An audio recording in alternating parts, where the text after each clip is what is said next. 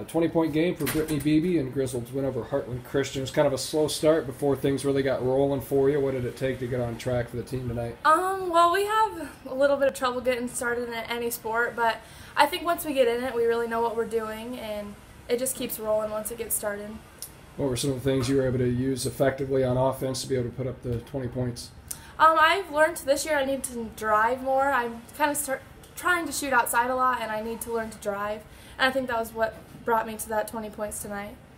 Uh, Coach Gross had talked about kind of getting the younger girls more involved against Southwest Valley. I think you know some of them their first time out there varsity and, and having to lean on you seniors and juniors to tell them that hey you can shoot, Yeah. you can do this. Did you see some improvement from them tonight? Yeah, we're a pretty close team. We only have 11 girls, so we're all pretty close. And I know Brenna and Lydia, both freshmen, they hit threes tonight, and I know that really got, got gave them some motivation.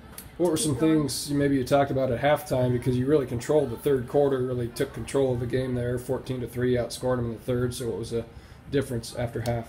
Our defense, we started man to man the end of the second quarter, and that was not working. We kind of left a girl open every time, so we tried a 1 3 1, and that was pretty successful. A lot of pressure, kept speeding them up. It's a whole new ball game for you guys this year in the corner conference as opposed to the WIC. What are some of the expectations you have with that? Um, I think our coach holds us up pretty high expectations. Um, he knows we can be really successful this year.